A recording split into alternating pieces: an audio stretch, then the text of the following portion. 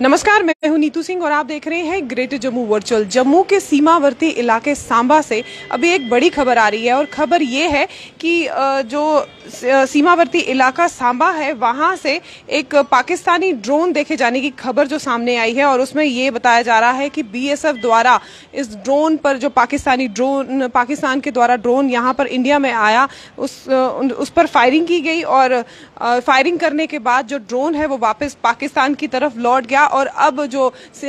वो इलाका, सांबे का इलाका है, उसे पूरी तरह से क्वार्डन ऑफ़ कर दिया गया है, क्योंकि ऐसा माना जाता है कि ड्रोन के द्वारा हथियार या ड्रग्स कहीं यहाँ पर फेंके ना गए हों। इसके कारण जो एरिया है, वहाँ का इस समय क्वार्डन ऑफ़ कर दिया गया है। और वहीं अधिकारी सूत्रों से ये पता भी चला है कि रामगढ़ सब सेक्टर में चमलियाल सीमा चौकी पर तैनात बीएसएफ ने रात, देर रात इस ड्रोन को देखा। एक टिमटिमाती लाइट अंधेरे में उनको नज़र आई और उन्होंने इस पर फायरिंग की फायरिंग करने के दौरान पता चला कि वो ड्रोन है और ड्रोन जब गोलीबारी की तो ये जो ड्रोन था, ये वापस पाकिस्तान की तरफ़ लौट गया और अब वहाँ पर जो है तलाशी, जो है तलाशी अभियान वो इस समय जो है अभी भी चल रहा है। क्योंकि जैसे मैंने आपको बताया, पहले भी कि ऐसा माना जाता है कि ड्रोन के द्वारा या तो हथियार या जो ड्रग्स है, वो सप्लाई की जाते हैं इंडिया की तरफ़ और अब उस एरिया को पूरी तरह से कॉर्डन ऑफ़ कर दिया गया है। अभी ये जम्मू के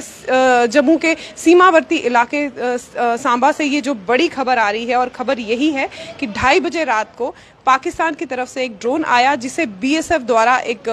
बीएसएफ के द्वारा फायरिंग करने के बाद इस ड्रोन को वापस पाकिस्तान भेज दिया गया। इसी तरह की अपडेट्स के लिए जुड़े रहिए ग्रेटर जम्मू वर्चुअल के साथ। कैमरामैन अजय जाडू के साथ, मैं नीतू सिंह, ग्रेटर जम्मू वर्चुअल के लिए धन्यवाद।